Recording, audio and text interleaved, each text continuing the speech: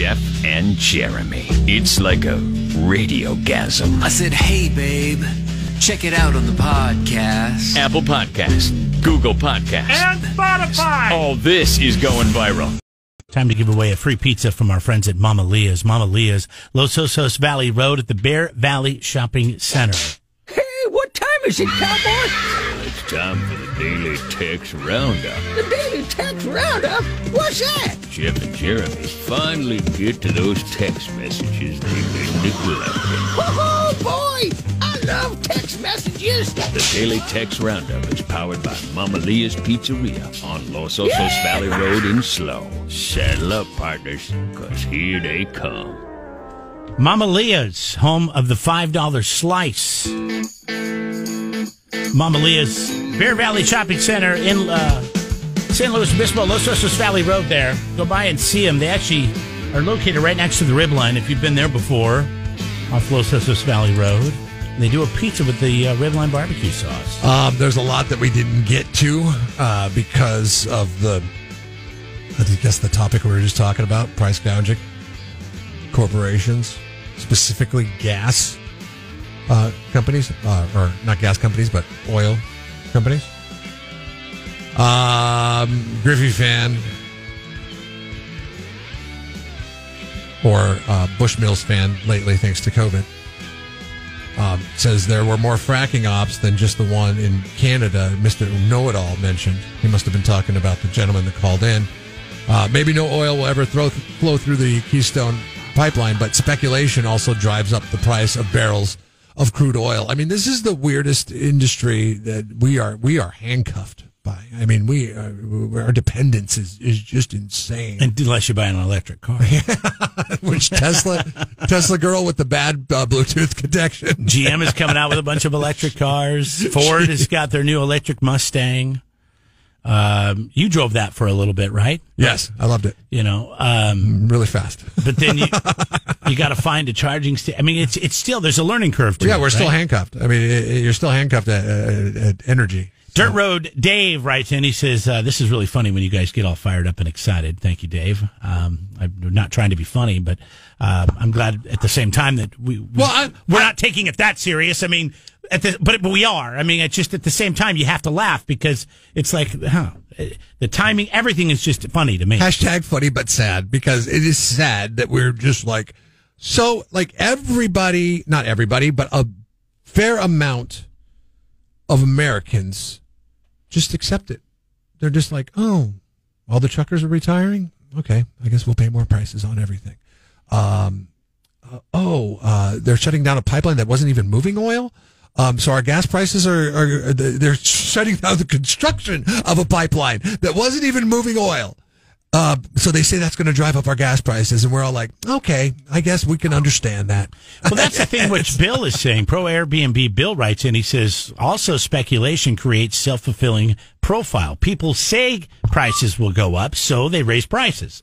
Yes. I mean, that's what I feel like we hear the news, like, oh boy, there's Yeah. a, you know, there's a, apparently there's a new study out that truck drivers, there's a shortage, so hey, everything's got to go up because they transfer and truck everything. Well, this just in. Uh, there's a storm in Texas in I realize in, a- in February, and uh, it killed a lot of pigs. So expect your pork prices to go up. And the pork the pork guys are sitting there rubbing their hands And together. I'm not saying- I love it when a message gets out. We're not idiots. I mean, I understand that is going to affect a portion of this. I understand that. I do get it. But is that is that affecting the entire country? It creates mass hysteria. And if we've taught anybody anything over the past year is that we'll buy into hysteria. We will 100% buy into hysteria. So you don't think corporations or industries are paying attention to that? They're like, man, people believe anything you tell them as long as you tell them with a sky is falling attitude. Let's raise some pork prices. Let's raise some chicken prices. Let's raise some oil prices. Let's raise some lumber prices. You name it. They've got my extra money now. They're believing it. They're buying it. They're all in. Don't think for a minute. Don't think for a minute that these quote unquote news organizations that spit this stuff out the pork, the chicken, the oil, the lumber, they're not supported by advertising dollars from people from the pork, chicken, oil, lumber industries. Hey, thanks for uh, passing along that pork prices were going to go up. Uh, we're looking to do some advertising. I mean, it's just how it works.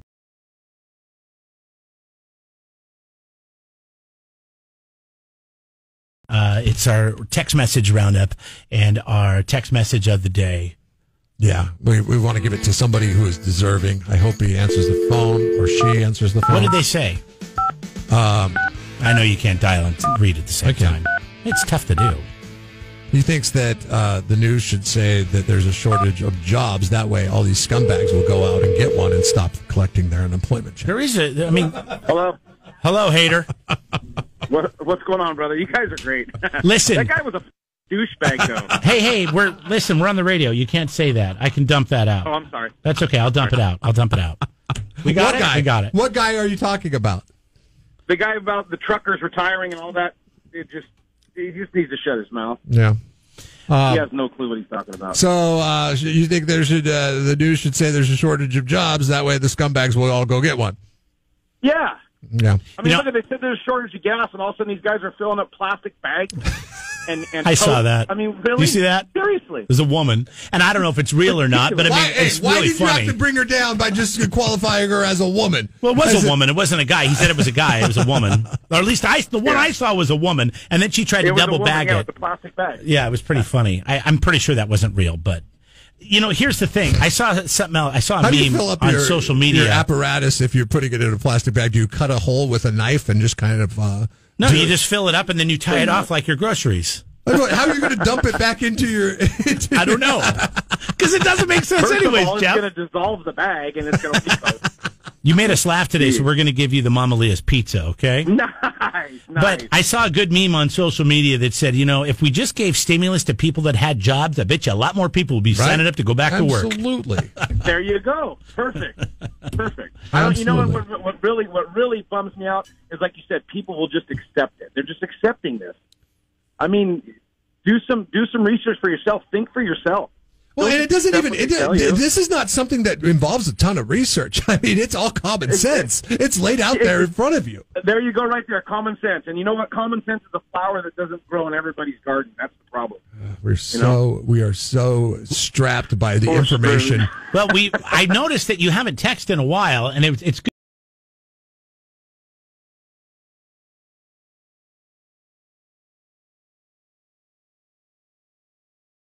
Have you back? So uh, thank you for, Right for making us laugh a little And, bit this and we're like we're like the government. We're uh, giving you stuff for uh, listening to us. yeah, we're paying you off. Right on. brother. All right, hold on. Hold on a second. I need to get a couple things from you so we can get you your pizza from Mama Leah's, home of the five dollar slice, Bear Valley uh, sh- Shopping Center in uh, off Los Osos Valley Road in San Luis Obispo. I was talking to Tim off the air. Or apparently, we were going on the air. Let's have that conversation on the air now. with Jeff and Jeremy Tim, in the morning. can you can you can you repeat what you were saying uh, real quick? We're talking about you know gas prices, oil prices, all this stuff going up, and I know you had some valid things to say. What were you saying? Uh, there's a couple reasons why. Um, I'm in the industry of selling hardwood and, and flooring products, cabinets, and our suppliers used to pay nine months ago average of 900 to 1100 per container coming over to the United States. They're now at 5,600, expected to go to 10,000 by July. So everything that comes over from overseas, no matter what's in that container, uh, because there's a container shortage during COVID, they shut down making them. Supply and demand, they can't find enough containers, so they're bidding on them. So that's driving up everything, all our staple uh, things that we use. And uh, as far as the oil goes, the contracts during Trump had thousands of contracts, made us number one exporter of oil. And I think on day one or day two, Biden got rid of all those federal contracts. So yes, speculation is that we're going to be borrowing more oil or buying it from Saudi Arabia. So that was a contributing factor. Yeah, so they forecast it, and that's when they start raising prices before they even have to, right? One hundred percent, absolutely. They uh, the big the big rich uh, companies get get over on us, and they get to. Uh, we have no choice, right? We're what can we do? So, Yeah, no, that's Yeah. good, man. Thank you for the call, Tim. Thank you for your you comments. have- sure. Have a great day. Thank you. I mean, that's good insight, Jeff. number one, to get I didn't inside. know of- the shipping container uh, business was into like, oh, we have a shortage of shipping containers now too, because they're making. You know what? Quit making them into friggin' homes and, and put them back on the on the ships. I agree 100%. Put some product in those homes. Would you ever live in a shipping container home? I mean, if it was built right, yeah. I mean, Well, you're part of the problem then. well, not, not anymore. I wouldn't because I wouldn't be able to afford it. What's more expensive? Lumber's gone up. I mean, everything has gone up. But you know what? I think what you were saying earlier about the storm and the chicken and the pork and the storm, they have an excuse to raise it. Let's raise it.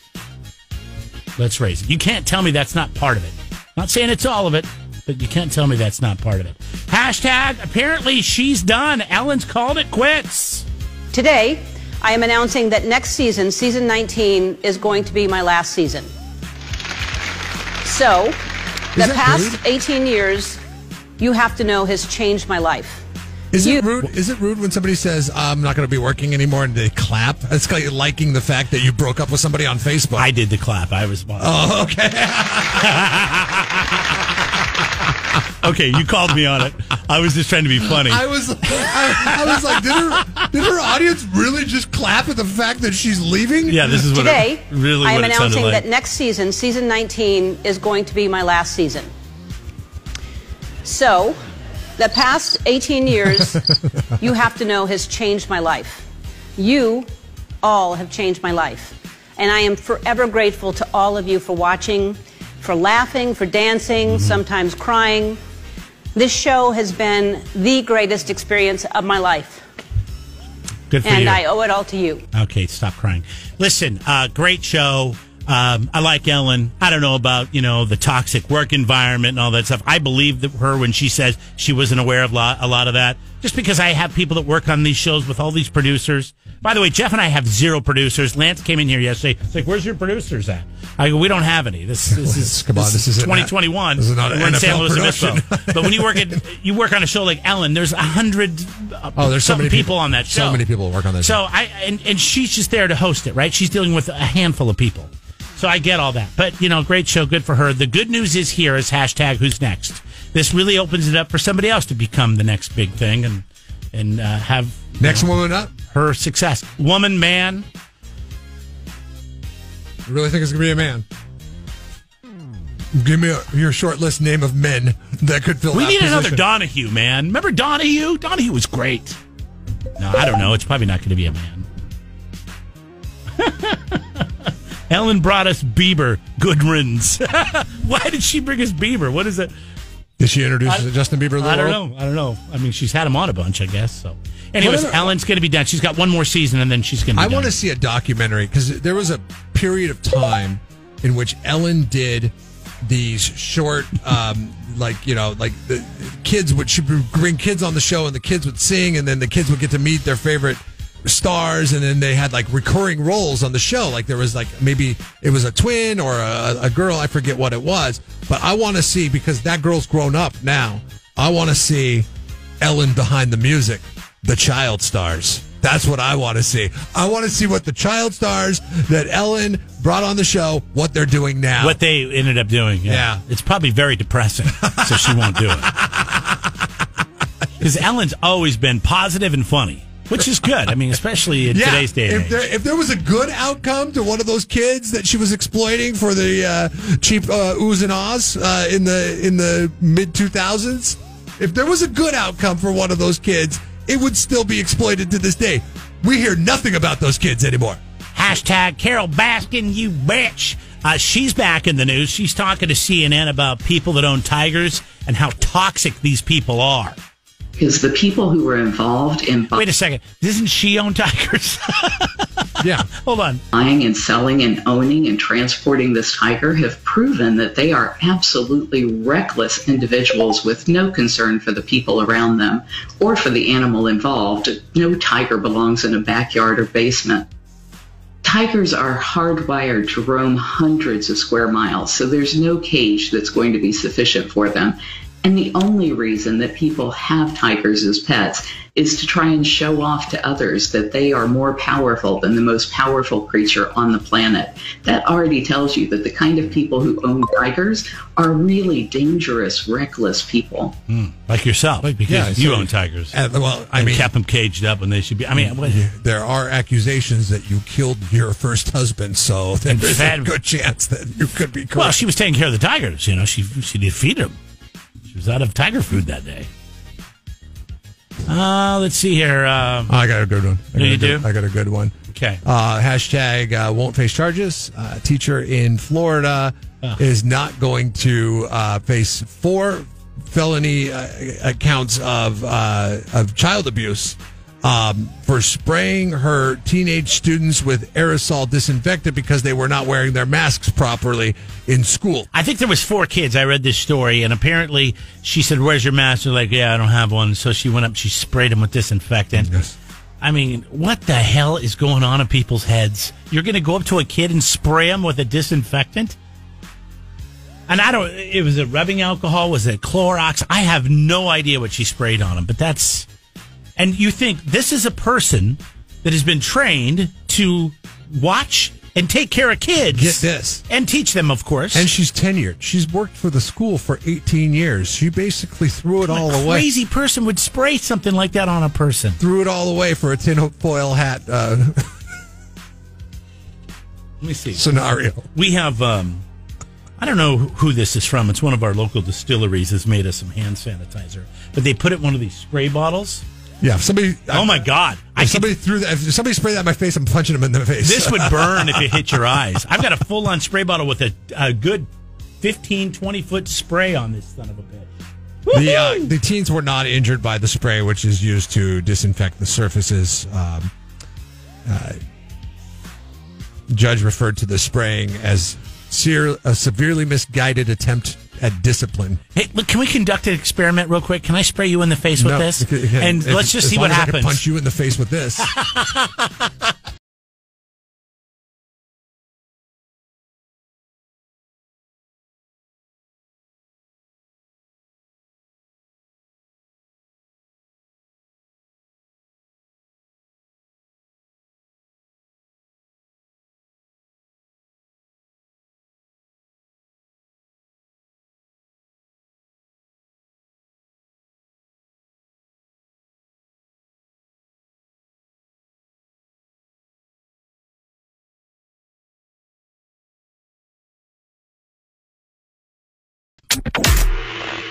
Straddling the fine line between career and mental illness.